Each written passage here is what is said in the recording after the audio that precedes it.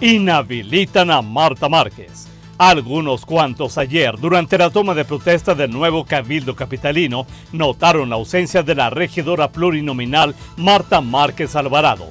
Y si la ex senadora neomorenista no llegó a la sesión solemne de Cabildo, ello obedeció a que las presuntas violaciones de ley que cometió durante la campaña anterior e incluso antes de esta llevaron al Tribunal de lo Contencioso Administrativo a dictar una inhabilitación en su contra por 10 años, durante los cuales no podrá ejercer cargo público alguno.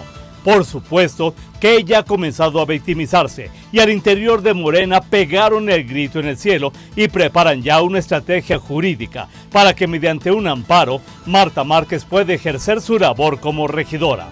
No obstante, existe otro grupo al interior de la 4T local que no se olvida de las serias ofensas que Marta lanzó contra ese partido y en especial contra Andrés Manuel López Obrador, ante lo cual no descartan dejar que la inhabilitación progrese, llamar a su suplente y matar dos pájaros de un tiro, librándose de la propia Marta y de su inseparable Jorge López.